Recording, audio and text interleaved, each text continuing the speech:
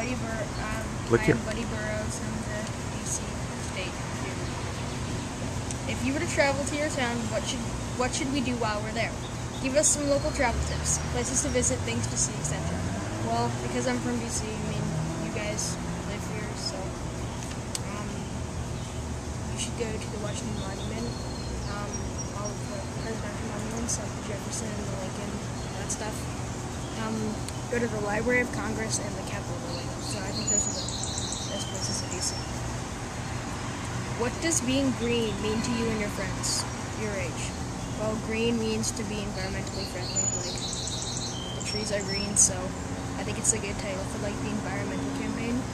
So yeah, reduce, reuse, recycle, um, stuff along those lines. Let's say you could trade places with any famous explorer or world leader. Who would you pick and why? Um,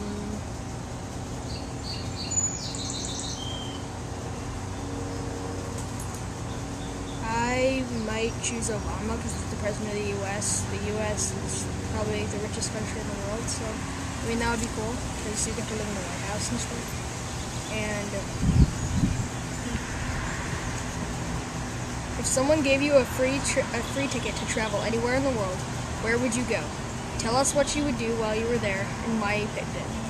Um, I would probably go to Cambodia because I'd like to see Angkor Wat, and uh, there are big rainforests there, and I, think it would be cool to see that too. How do you smush all that information and knowledge into your brain? What's the secret? Share one of your Skype tips or tricks. Um, there's this website that I like called TravelPod, where it gives you a place in the world, and you have to click on it as close as you can to it, and it tells you how many kilometers away you are from it.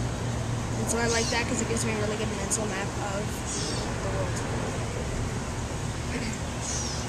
If we put you in charge of the Earth for an entire day, come on, just pretend this job exists. What's the very first problem or issue you would tackle? What would you do? Um, I would probably do something about all the big factories spewing CO2 into our atmosphere. So, you know, car factories in Japan, factories for making everything in the US and China. Okay, try to stump us. Share one weird but true random fact you've learned. Um, I think the strangest fact that I've learned is that in 1471 in Spain, a chicken was arrested for laying a multicolored egg. What is your favorite geography fact and why? Um,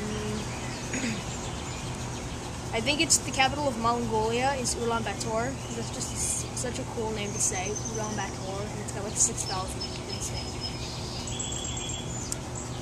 What do you want to be or do when you are an adult and why? Um,